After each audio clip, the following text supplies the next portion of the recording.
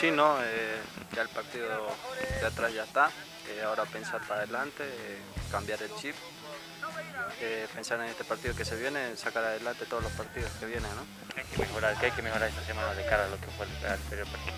Nada, el concentramiento, estar más concentrado hasta el final, hasta que termine el partido y nada, meter un poco más de gana, ¿no? Hacer un grupo nuevo, bueno, te estás adaptando también a nacional, hay que buscar esas sociedades, ¿no? Para poder ser más constante también en la, defensa como también a la hora de llegar al arco. Sí, no, como dices vos, eh, hay que ser un equipo unido, hay que estar más juntos y nada, sacar todos los partidos, como te dije, adelante, partido a partido, ir viendo, corrigiendo errores que tenemos y nada, para eso están los entrenamientos, ¿no? ¿Cómo termina físicamente? ¿Todo bien esta semana?